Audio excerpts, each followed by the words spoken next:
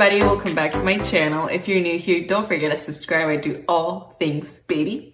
Today I'll be sharing with you guys all my tips and what I do to uh, freeze my milk. So I've got a lot of requests on my Instagram on how I freeze my milk, how I store milk, and how I transport my milk. As you guys know, I exclusively pump.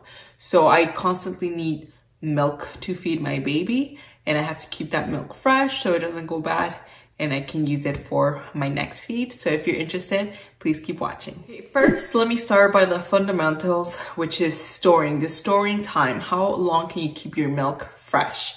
So if you just pumped your milk and you want to use it for your next feed, usually the milk fresh on in room temperature will be good from four to six hours. So what I used to do is I'll, my last pump will be at midnight and if my, if my baby woke up at five or six, that milk I will store in a, in a bottle already, ready to go next to my nightstand. So whenever she woke up, I just gave her that and she'll finish it and she'll continue sleeping up to 8 or 8.39 depending on whenever she wanted to wake up. So basically at room temperature, fresh milk will stay good for from 4 to 6 hours. I really stretched to six hours at times and it was fine. Just make sure that you smell the milk and that you don't see any um, uh, clumps. You'll see when the milk has gone bad. You will notice it. Um, so that will be fresh milk. Second, if she doesn't, um, let's say she will always eat from four ounces at each three to four hours. So if I pump four ounces in one breast, the other four ounces I'll put it, I'll store it in the fridge so to store in the fridge, that will go from, I believe it's two to four days, if I'm not mistaken. Usually she consumes the milk within the two day period. Um, so what I used to do is whenever I had the fresh milk, I'll pour into one of these Medela bottles. Uh, then I pop it in the freezer, uh, sorry, in the fridge, and then I'll keep it there for cool from two to four days. And what I used to do is I'll put one, two, three. So one will be the milk that we will use on the next feed. And then the second milk will be the most fresh milk that I just pump. And then the third and, and so on. That way my husband or I, whoever is feeding my baby will know which milk to use first because the milk that will be marked as number one will be considered the older, the oldest milk. So that will be uh, for the milk in the fridge. Milk in the freezer can go from six to 12 months. It really depends on you. If you have a deep freezer, you can go up to 12 months. What I did is I used it between the six month period. So whenever I knew I was approaching the six month period, I will start using all that milk. Just feed my baby with all the frozen milk. And then all the milk that was pumping, I will do another freezing batch. So that will that way I can have another six months frozen milk. Uh, so that will be everything in terms of storing your fresh milk in the fridge or storing in room temperature or in the freezer.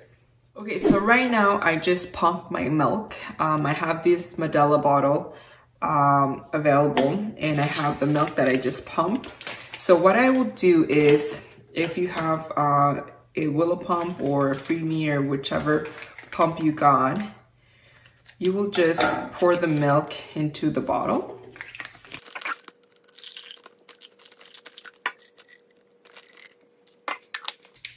So this milk, if I pop it in the freezer now, it will last me up to four days. I usually try to keep from for every four ounces. Um, when it's in the fridge, as you will see the milk that I just got from the fridge. If you have milks like this in the fridge and you have 3.5 in one and four ounces in the other, make sure they're in the same temperature to mix it and keep it in the freezer because if you mix cold with hot, the milk might go bad. So what I would do is if I have these two in the free in the fridge already, I'll just pour into one. That way I have eight ounces in one. And then this fresh milk, I'll just pop it into um, the fridge again. And then I'll continue my batch from one to three. Um, what I do to freeze my milk, I usually, if I'm pumping into the bags or into a bottle, I will make sure that I have four ounces. It's easier uh, to have four ounces frozen. That way you can pull two, that, that way you have eight to feed your baby whenever she's eating at night. Or for example, my baby, she eats eight ounces at night. and during the day she eats by four. Every four hours she'll eat four ounces, four ounces, four ounces. So I found it easier to freeze the milk in the bags uh, marked as four ounces. So right now what I'm gonna do, I'm gonna go ahead and pour the milk from the fridge that I know they're in the same temperature, room temperature. So right now I have in one bottle around seven ounces. It usually goes up to eight ounces. That way I know I have two feeds right here. And now I'll pop this bad boy back into the fridge and it will be good for another two days. This, I, I just pumped it today, so I know it's still good. Um, just make sure that if you have these types of bottles in your fridge, keep keep two or depending if your baby consumes a lot of milk, you can have three, but make sure you don't have that many bottles in the fridge because then you'll get confused. You won't know which milk is the oldest, the newest, or whatever, unless you have a really good system. So what I do is exactly that. I'll have two milk bottles, and if I see that this one is kind of empty and, it's in the same um, temperature, I'll just pour into the big one. That way I know I have to get rid of this one whenever I can. Okay, right now I'm gonna show you guys how I freeze my milk. So as I mentioned, I just pumped this milk. Um, so right now I have four ounces. As I mentioned, it's easier to freeze the milk at every four ounces. So if you have it in the fridge, two ounces, and then you have another two ounces, make sure that it's in the same room temperature. Pour into one bottle, then you'll make sure that you have the four ounces and then you can freeze your milk in one of these Medela bags or you can use, I believe it's called, I forget the name of the other brand. I'll link it down below. Uh, there's many brands that you can use. This one's the one that works best for me. Um, it's really preferences. There's no um, bag that's better than the other one. I mean, I've heard good reviews from, from for some bags and other good reviews for others. This is what works best for me.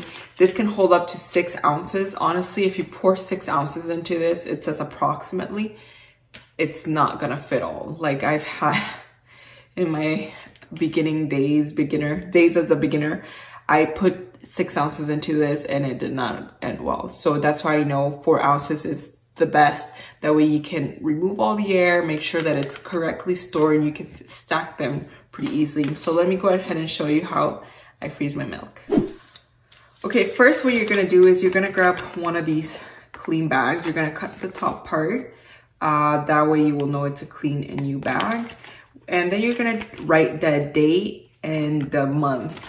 And then you're gonna write the four ounces. So I wrote in mine February 6, 2020, four ounces. What I do is open the bag, like so. And you're gonna grab the milk and just pour it in. Just take your time because you don't wanna spill milk. And if it's your first time, go right ahead and place a plate underneath. That way, you know, if you spill, you're not gonna regret it.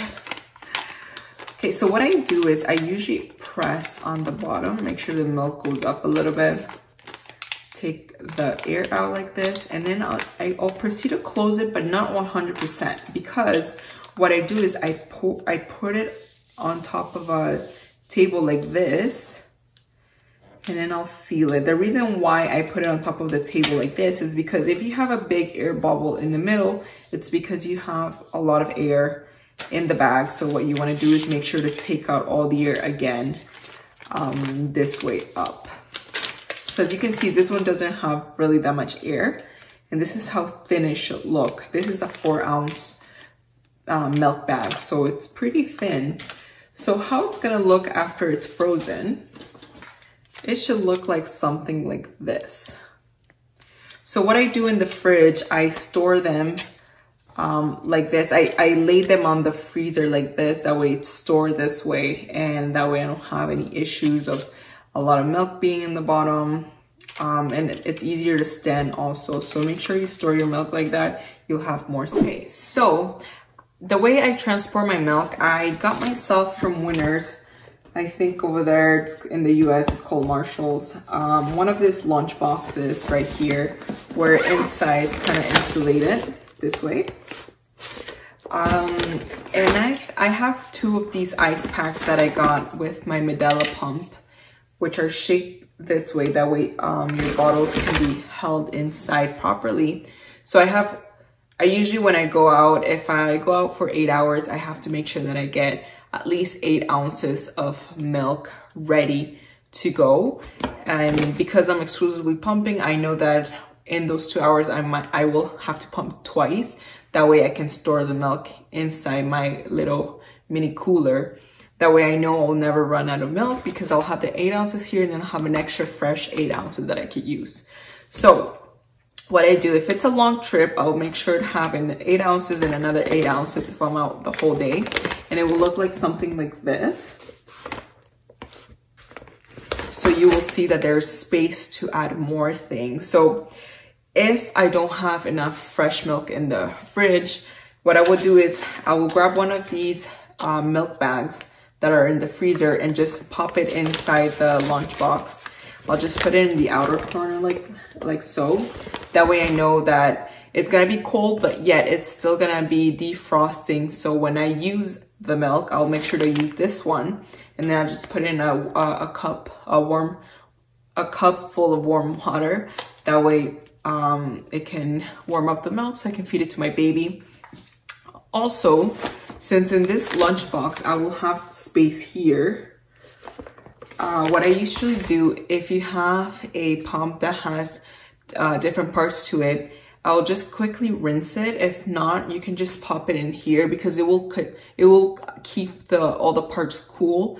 That way you can use it for your next pump. It's kind of like the same technique of popping everything to the fridge whenever you're done pumping if you won't, if you don't have time to wash everything, desanitize everything. So what I really liked about this little lunchbox and that system that I have going on here is that I have enough space to store my milk. Um, I have enough space for extra milk that I will pump. So if I just pump milk like this one, I can just store it on the side like this, the side like this. And then I know my milk will be kept cool and I can just store on the other side uh, all the pump parts. So uh, since, since I'm using the Willow, I can just store all the flanges and the flex tubes in there if I don't have time to clean it. Oh, it's itchy. So I know I can um, store everything in there. And if I have any things that need to be stored for my baby now that she's eating solids, for example, I don't know, I if I do a apple puree, I can just store it there, keep it cool. Her carrot, she likes her carrots cold, so I keep it in that lunchbox. So it's a really cool system that I got, not only for the milks, but for my baby's food and and if I have, I don't know, my iced coffee, I can just pop it in there if it's a really hot day. Moving on on how I defrost my milk or how I warm up my milk. Uh, what I do is sometimes when I get the chance, I will take uh, milk from the freezer and then put it in the fridge, wait there a couple of hours until I can see that has defrosted and then I will pour a little bit of warm water into a cup like this I make sure that the cup has enough space to fit the whole bag. Um, and then I will just place the bag inside the cup like so. And I'll just shake it like this. That way the milk keeps moving and it warms it up evenly. I don't warm up my milk that much uh, because first it might um, damage some nutrients in the milk. And second, my baby doesn't like really, really warm milk. She kind of likes it not too much in room temperature, but kind of like going into an iced milk. I don't know why she likes it that way. Whenever I give her warm milk, not hot, but warm milk, she does not like it. So I, you will get to know your baby, you'll know what she or he likes. So what I do, as I mentioned, if I have the bag, I'll just move the bag around. If you're using one of these Comotomo bottles, uh, the silicone in these bottles are really, really thick, so it takes a little bit longer to thaw your milk, defrost the milk. Um, I usually never freeze it in these bottles. Uh, so what I do is whenever it's in the bags, I will make sure that the um, I've warmed up enough the milk and then pour it into these bottles. If not, if it's milk from the from the fridge, I will pour it into the bottle and then in warm water, I'll just place the bottle inside the cup wait a couple minutes there. I'll swirl the milk, put it back, wait a couple more minutes, and then the milk should be good to go. When I'm in a hurry, I usually uh, warm up the milk in these Medela bottles because the plastic is thinner, so it gets warmed up much quicker than if I was warming it up in her usual bottles. So that's a trick there. Um, if you guys wanna warm up milk really fast, use the Medela bottles or use the bags, which is the easier part. You can also, if you don't have a cup available, I don't know, you can run it into um, warm water. Use warm water, don't use hot water because hot water will kill the nutrients in the milk. Okay guys, so that is it for this video. Thank you guys so much for watching. If you like this video and if you find this video helpful, don't forget to give it a thumbs up. Comment down below if you guys have any questions or suggestions on what videos you would like to see next. I'm always open for suggestions and I'll see you guys next time. See ya.